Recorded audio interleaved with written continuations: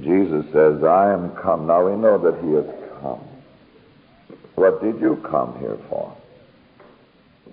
We used to sing a song in Sunday school, What am I in this old world for? There must be a reason why God let me come to this world.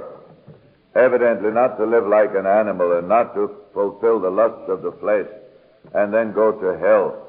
God put me upon this earth for another purpose and Jesus says, I am come. Dear Lord, what did you come to do? Did you have anything in mind toward me when you came to this world? Dear Lord Jesus Christ, I'd like to know whether you really did something for me, whether you came to save me, to bring me out of my bondage, sorrow, and night into thy freedom, gladness, and light. It is such a wonderful study to go to the New Testament and find out how much God has willed toward us. I told some time ago of a young man in Germany who received a letter from the government of the United States, and when he was asked to pay one mark and twenty pennies due postage due, he refused to have it. He sent it back. He said that evidently comes from an uncle in America, and he, I've never had anything to do with him. I'm not going to pay a mark and 20 pennies. That's about uh, 30 cents for that letter. So he didn't. But 20 years later, he found out that that letter was an official letter offering him an inheritance of more than $100 million, which his uncle had left, and he was found to be the only heir, the sole heir to that vast fortune. It was closer to 150 million than 100 million. And he lost all that because he was not willing to pay one mark and 20 pennies for that letter. And you don't know your loss. You don't, you positively don't know your loss. Whether, whether you prefer softball or television or the lust of the flesh or the lust of the eyes, you're preferring Satan. You're preferring the devil. You are. And there's a fire prepared for the devil and for his angels, and whosoever was not found written in the book of life was cast into the lake of fire, the Bible says. Now, the Lord hasn't come to fool us. He hasn't come down from heaven and humbled himself and took upon himself the form of a servant. He did not go to the cross in order to fool humanity and tell you after a while it'll be okay. You can live as you please. You can do as you please. It'll be all right. Yes, you can do as you please. You can serve the devil. You can serve the flesh. You can be blinded by the God of this world. You can satisfy every whim and every desire of your heart. You can let Satan blind your eyes. You can rise up in pride like all these unbelievers and all these agnostics do. You can do that if you please. God somehow allows man to make his own choice between heaven and hell, between light and darkness. And what is the world doing today? Why, just a few weeks ago, I said this morning they discovered another skull.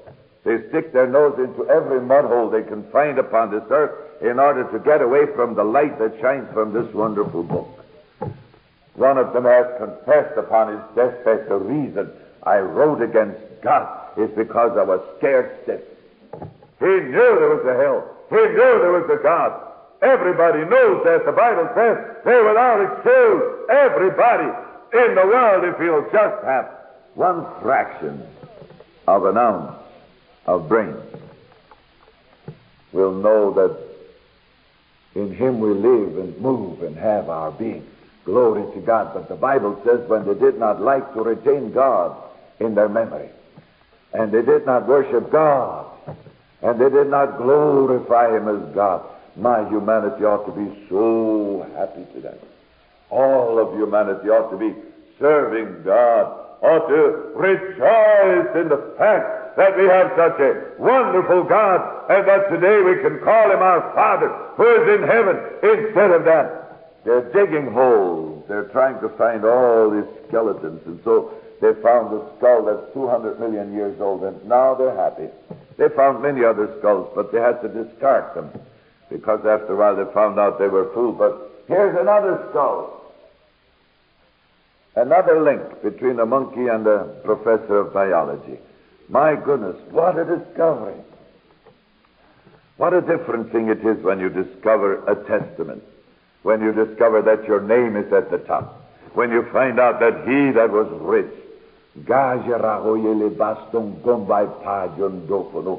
this unspeakably wonderful, marvelous God, this King eternal, immortal, invisible, the only wise God has fought upon me, and he saw me plunged in deep distress and is close to my relief. We think that man has fallen into terrible judgment because of the war. When I came to Germany the first time, there was a lump rising in my throat when I saw the bombed out cities. And when I saw the prisoners coming back from Russia, hollow cheeked like skeletons, I said, and when I met the ministers, and when I came into their homes, and I saw the poverty and when I came into the meeting and I found out that the people didn't have Cadillacs and Lincolns with power steering to come to church with, or they wouldn't go to church, I saw old ladies in slippers walking for five miles through the snow to get to meeting, come to a hall where there was no heat at all, and maybe no benches, where they had to stand up all through the meeting.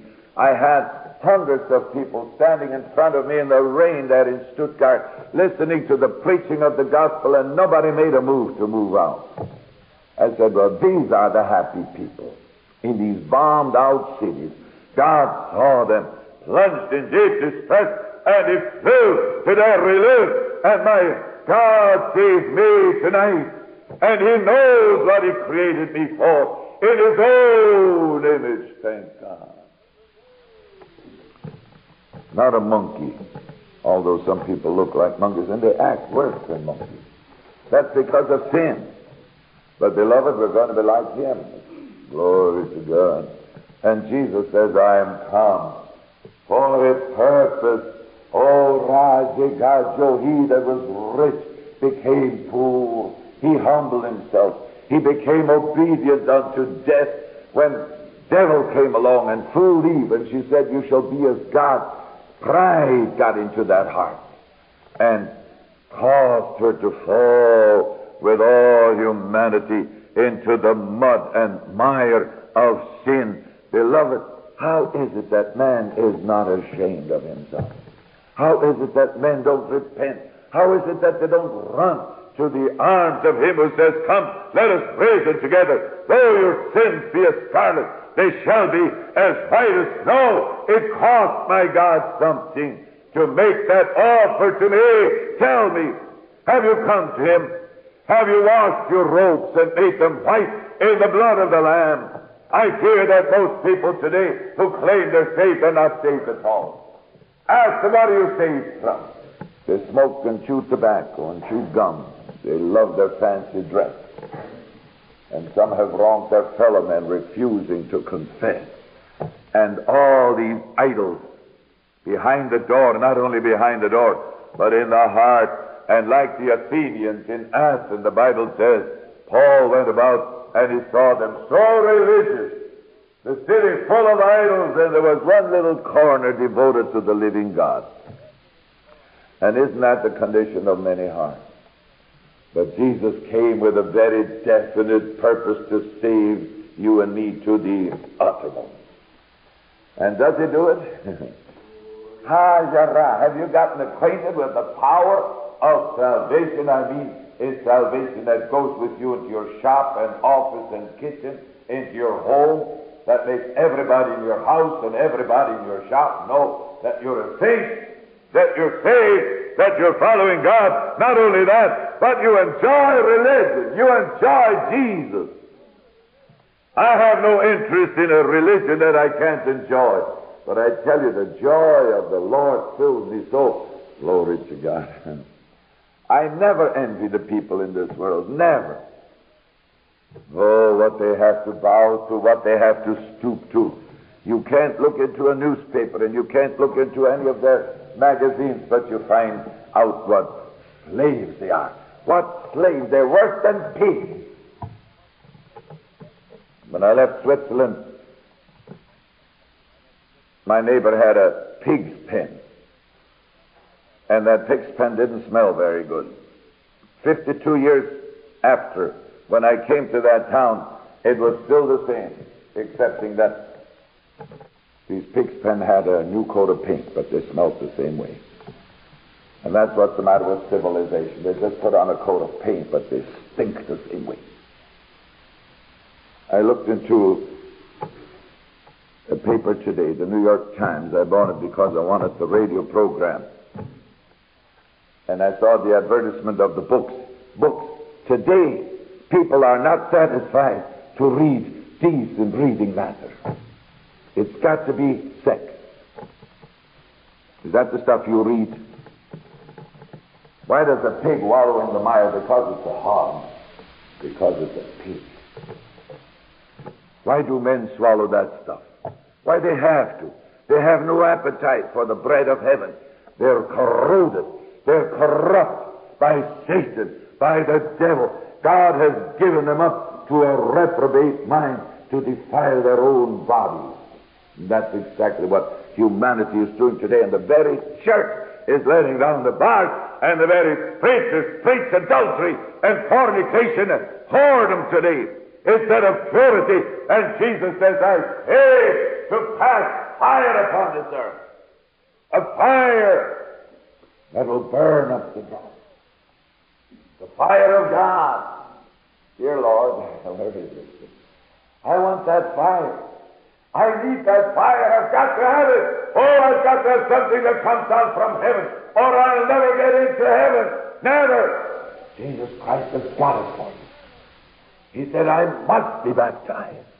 I must go through. And when Peter says, Don't let them do that to you, he said, Get thee behind me, Satan. That's what I came for. Thank God. I came not to fill the churches with hypocrites, and above all, not to fill heaven with hypocrites, but to win for myself a bride that is spotless, without wrinkle, without, without defilement. I came to cleanse and to purify unto myself a people zealous of good works. Jesus, did you really come? Did you really finish the job? He says, I must be baptized with a baptism. And you haven't any idea the price that my Lord paid, but listen, He paid it. Whether you accept it or not, I told you, you can go to the devil if you like. You can live in sin. You can let your heart be hardened by the deceitfulness of sin. Or you can come to Jesus and receive the New Testament blessing and be partaker of His divine nature. The choice is entirely yours. Jesus Christ has absolutely paid the price. Thank God He is able to save to the uttermost all you. Are you satisfied with a half salvation? When testimonies are called for and you sit there like a bump on a log, I know there's something wrong. You shall be. The fire isn't burning. Why not? Listen, you're making your choice tonight. Somebody this morning said how it was 40 years ago. I don't like that. Beloved, it's different not now with me. It's better. It's better. Day by day, it's getting better. Why? Because I've chosen Jesus Christ. Because I make my choice every day. And like my sister said, I had to make my choice when I was a boy, when I had to work 10 and 12 hours a day. I had to make my choice to get up an hour ahead of time in the morning. I had to be baptized with the baptism of the Holy Ghost. Don't you have to? Jesus Christ has to do it. And unless that holy must is upon your soul, I fear that God's going to give you up to a reprobate mind. Or you'll be a church member, sure. And if you don't like it here, there are a dozen other churches where they'll welcome you with open arms. You show your nose there one time, and they'll elect you to be assistant vice president to the Athlete Foot League, and they'll give you a buck. Sure. But Jesus Christ says, I've chosen you. I have chosen you. Have you chosen him? Oh, my Lord Jesus. this wonder of wonders, this this wonder of the New Testament blessing that offers me the unsearchable riches of Christ. I know people complain about hard preaching, but you should have heard Apostle Paul. He says, For three and a half years I warned every one of you night and day with tears. I came across an old photograph this evening just before coming to church where a group of us young fellows were together in the Baptist church. I was about 17 or 18 years old, just been saved. And there's a picture of a young fellow. He has his eyes closed. I guess it was a flashlight picture. And as I looked at him, I thought, oh dear, Adolf, that was his name. He was a little younger than I.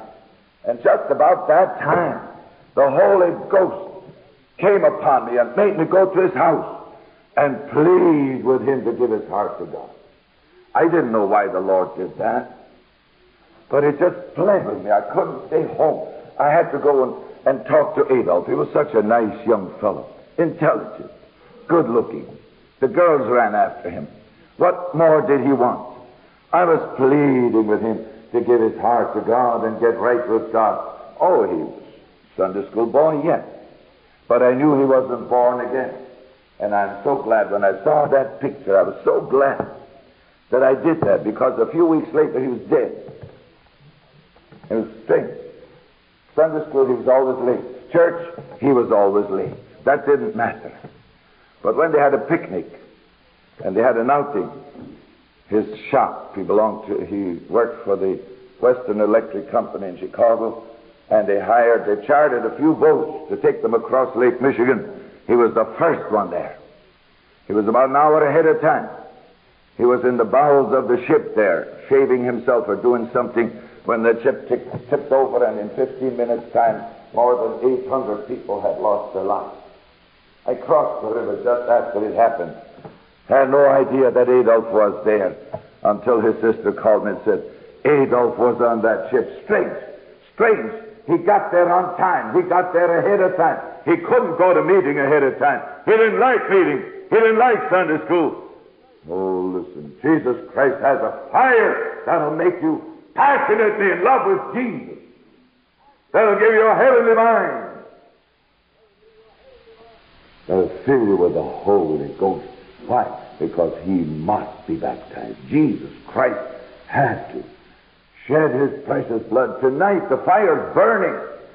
Tonight, thank God, that fire is burning for you and for me. And if you will, you can be set on fire for God. Oh, how different it is. And, beloved, today, Jesus has more really baptized, filled saints in the world than any time through the, in the whole history of the world.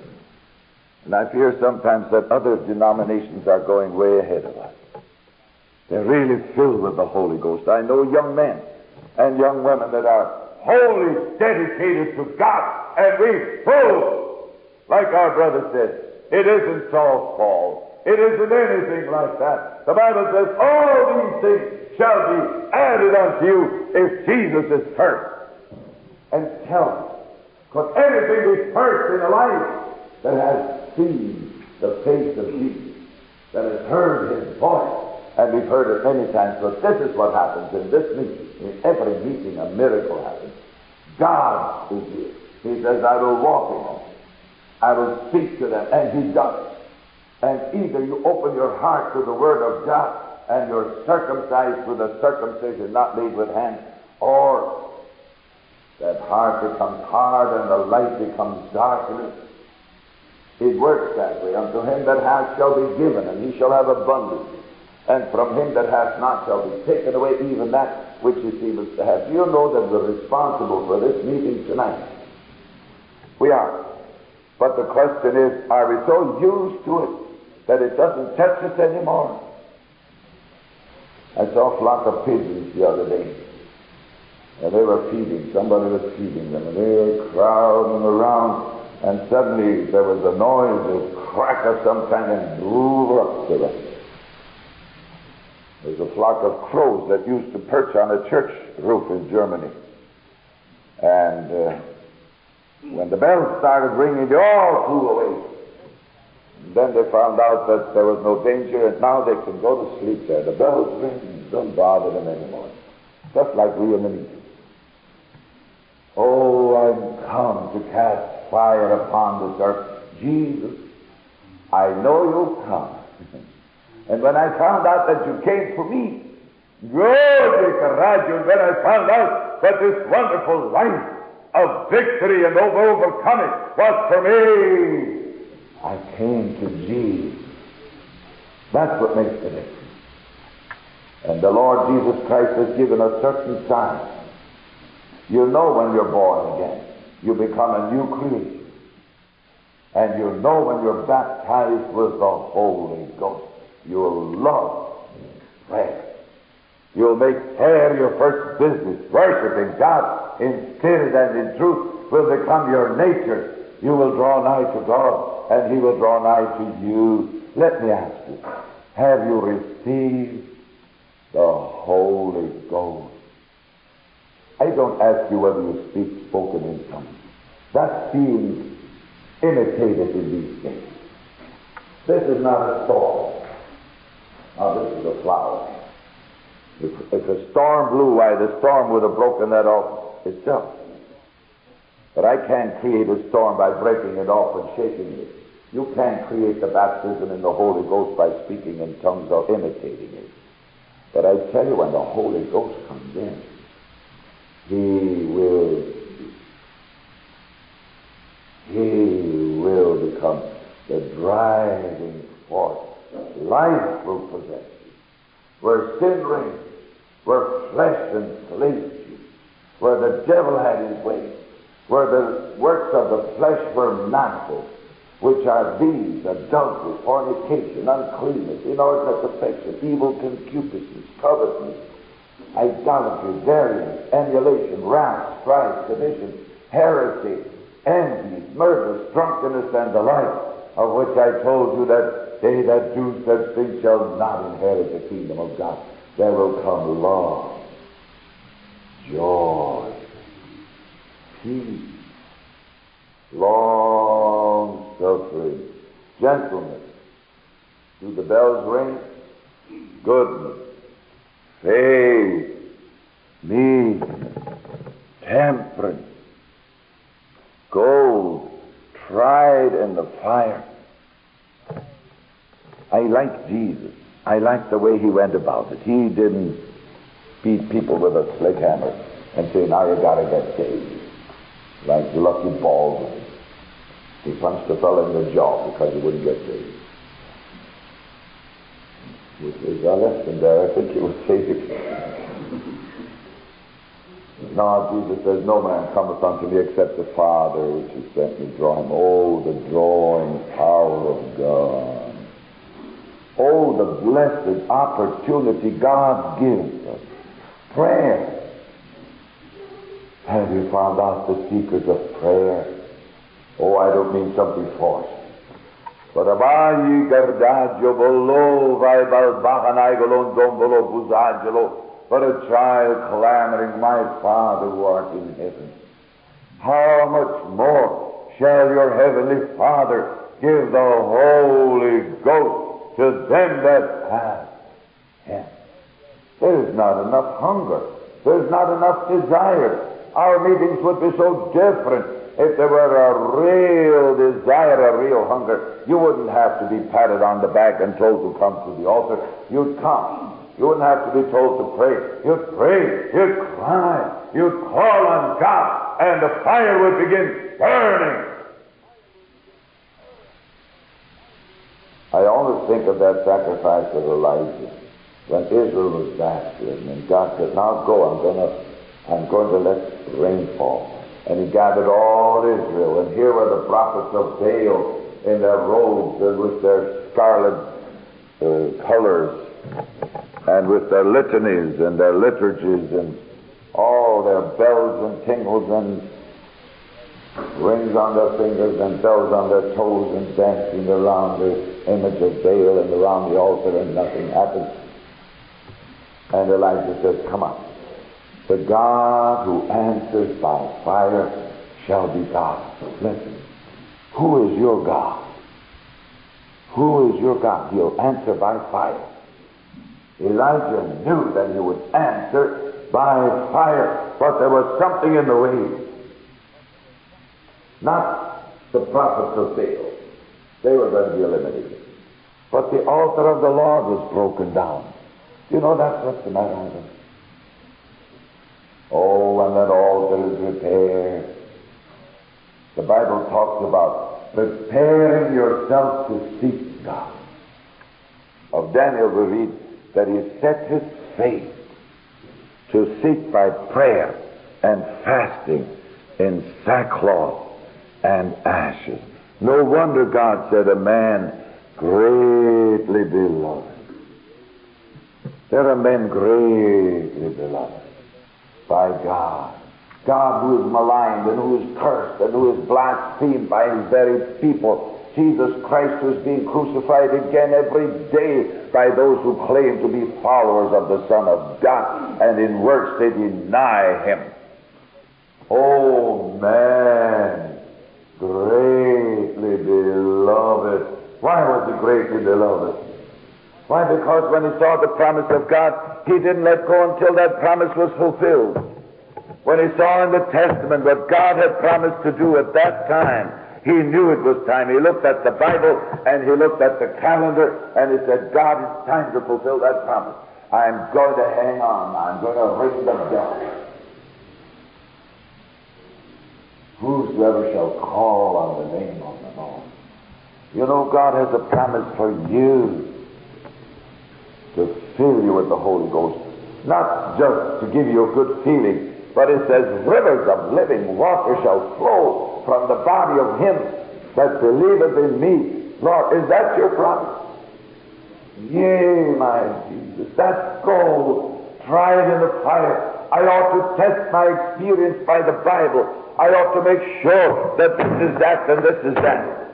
And if it isn't, then let me do like Daniel. Set my feet unto the Lord my God to seek by prayer and fasting and sackcloth and ashes. If Jesus Christ set his face like a flint to create salvation for you and for me, to open heaven, to obtain from the Father that which you now see and hear, I ought to impose upon myself a, a little mouth.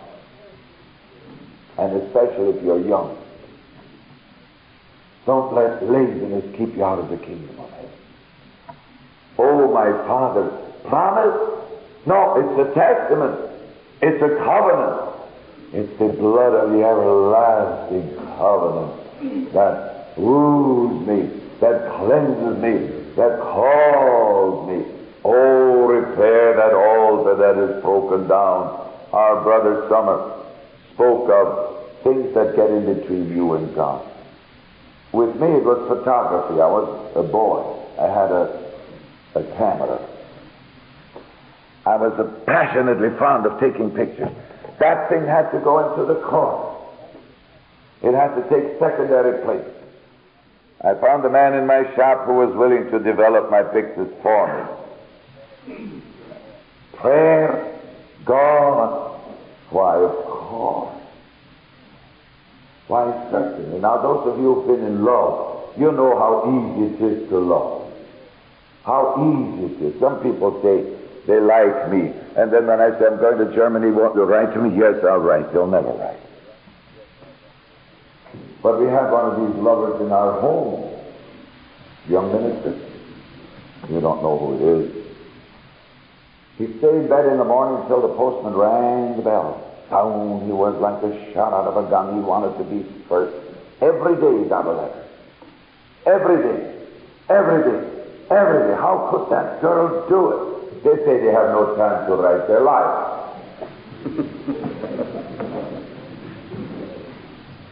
One day I, I got tired of it. I said, listen, next letter you get, I will answer. You sign it. You'll never have another He didn't. he got married. And now he's been singing, Oh, oh, oh, please have a little pity on a poor married man. I did have pity on him. ah, but you know, when you're really in love with Jesus, that's the fire. Oh, repair that altar. Make sure that God is first. He must be. Without me, you can do nothing. This Christ who said, I am your all in all. I in them and thou in me. And my Lord, you make the way so easy. He said, Behold, I send the promise of my Father upon you. And he says, rivers of living water. Why, this very body, that's what's the matter. I beseech you, by the mercies of God, that you present your body a living sacrifice. Do you know what is meant by the vessels? The foolish virgins took no oil in their vessels. This body, this body is filled with powers of death, powers of lust, powers of pride. They lodge in your body until you, you're transformed by the renewing of your mind, and the little prayer you do won't do it. It'll take vehement desire It'll take honest to goodness repentance. It'll take a real getting down into the very grave of Jesus. And Elijah knew that. He repaired the altar of the Lord in accordance with God's command. How is it with your altar in your home? Is the altar there between you and your husband and your wife and your children, your family? Is that the first thing in the morning, the last thing at night, worshiping God. Do you think that God's going to answer your prayers? He does, out of great mercy. But do you think that God's going to walk among you and live in you if you have these implements of hell hearing out poison of hell? And you neglect the stream of life and the presence of the Holy Spirit. Every home in Pentecost ought to be a sanctuary where God dwells, where He lives. How is it with your altar? The altar of God. I saw a sad sight yes, in Austin. When we were there, Edwin and I, ten years ago, there were some boys that melted under the power of God. One especially, five years old, when he heard the preaching of the gospel, he cried. I said, What are you crying about? Oh, he said, I want to be like that. I came back. Father and mother are in meeting. I said, Where are your home? Backslidden. What's happened? Oh, you know, the mother doted on these boys. Whatever they wanted, they could do. They didn't have to go to Sunday school if they didn't want to. They didn't have to pray. There was no such a thing as a family altar. The boys have gone to the devil, and somebody will curse that mountain. They'll curse that Father, Mother, God has commanded you to let the fire burn which Jesus Christ has kindled at the cost of his own life and his resurrection. He is the King of glory. Praise God. And if he isn't the King of your home, soon there will be another King. Many kings, and they're clamoring for entrance into your home. And if it isn't Jesus, and he repaired the altar. And then he dug a trench around it and filled it with water after he had cut that sacrificial animal in pieces so he couldn't run away. Oh, beloved, we sacrifice. That's pray. Oh, dear Lord, are you able I know God will do it. God will have a Pentecostal church upon this world before the rapture. God will have a people that are holy here without question mark. Men and women upon whom the fire of God has descended and from whose bodies flow rivers of life. They're divine virgins who have presented their bodies a living sacrifice. That's what this body is for not to be eaten by germs and viruses and stuff. but to be burned with the fire of the presence of God, to be a temple of God, to be a channel through which God can pour His life. Oh, repair that altar of the Lord tonight. I had to deal with a young couple that I married some years ago in Germany. They came, she complained, he complained. She had one complaint, he had another complaint so bad that he beat her. I said, listen, I have a wonderful message. Whenever one of you two gets mad, the one that gets mad, you go to the other and say, come, darling, let's praise the Lord. On, say, say hallelujah. Glory to God. I think they've done it because they've been getting real blessings. Oh, repair that altar of the Lord. Cut a trench around it, all around. Fill it with water. What is the meaning of baptism but separation? Come out from among them. Come out from among them. Come out. You can't come out of Brooklyn or New York, but in your heart you can be separated completely from all that monkey business of the devil and the world and the flesh. You can frown. I was interested to see that the government of South Africa has prohibited television in their whole country. They said it might be very useful, but it does more harm to our young people than it'll ever do good. And so the government has prohibited other governments, nations that we used to look down on, they prohibit our jazz and our rock and roll. They won't have it. America has played an awful role, I tell you, in spewing out this poison of hell into other nations that have not been contaminated by it. It's time that we woke up and prepared the altar of the Lord until the fire falls upon us, until God can send us into every part of the world with this wonderful life-giving fire. That's what God wants. I'm come to cast fire upon this earth. Lord Jesus, why didn't you open Bible schools and universities and cemeteries and stuff? Why didn't you write libraries full of books? He said, He that hath my commandments, how simple is the Sermon on the Mount. How simple are his words. I will manifest myself to him. I will come and make my abode with him. Children, we all can have the choice. You can find your God tonight. You can repair that altar of the Lord. You can make sure that your prayer life is first, last, and always that the passage to heaven is open, wide open, and God stoops to your prayer. And God sends his angels to guide you and to say, Oh man, great is his love.